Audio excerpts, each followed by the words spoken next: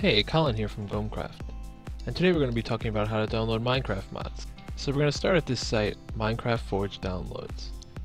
You can find the link in the description. You're going to go down and find version 1.10 recommended. Once you found that, you're going to go over to installer, and that's going to take you to AdFly. So up in the top right corner, that's where your download is going to pop up.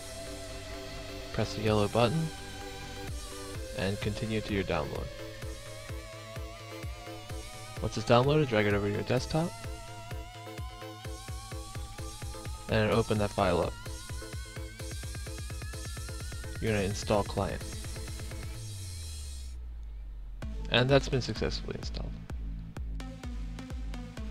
Alright, now you're going to go over to startup. You're going to enter percent app data and you're going to find a roaming folder. Go ahead and click on that. And open up the Minecraft folder. Once you're inside of the Minecraft folder, we're going to create a new folder titled mods. And that's all we're going to do there for now. Alright, now let's go and get some actual mods. So this is one of the most popular mods, it's called Too Many Items. We're going to use this as our first test mod. So scroll down to the 1.7.10 version and go ahead and download that. And once it's downloaded, drag it over your desktop.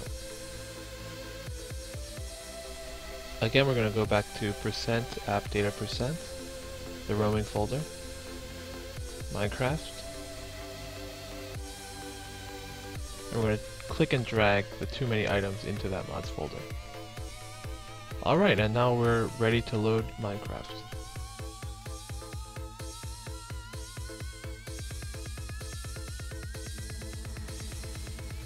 So one last thing, you need to go into edit profile and find Forge 1.7.10 and make sure you choose that, save it, and now you're ready to go.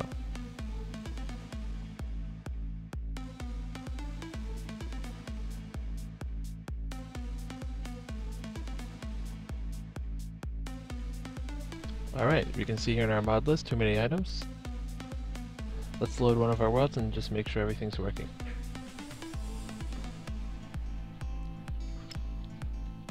And here you go, you can see that we have numerous new items and the mod is fully operational. And for any other mods that you may download, you're just going to take them and do the same process again. This has been Colin from GOMcraft, if you have any questions or you enjoyed this video, please like and comment below.